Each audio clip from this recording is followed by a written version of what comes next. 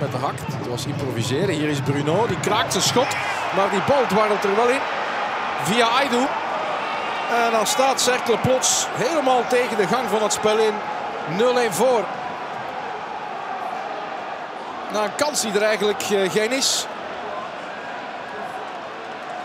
Genk helpt Cercle een serieuze hand.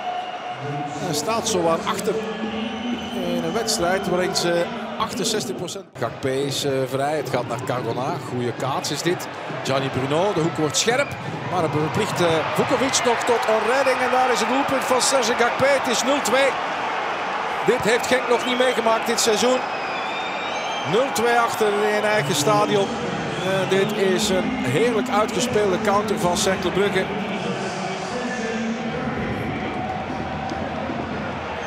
Gakpe blijft er heel erg rustig onder. Zijn eerste goal voor Cercle is het.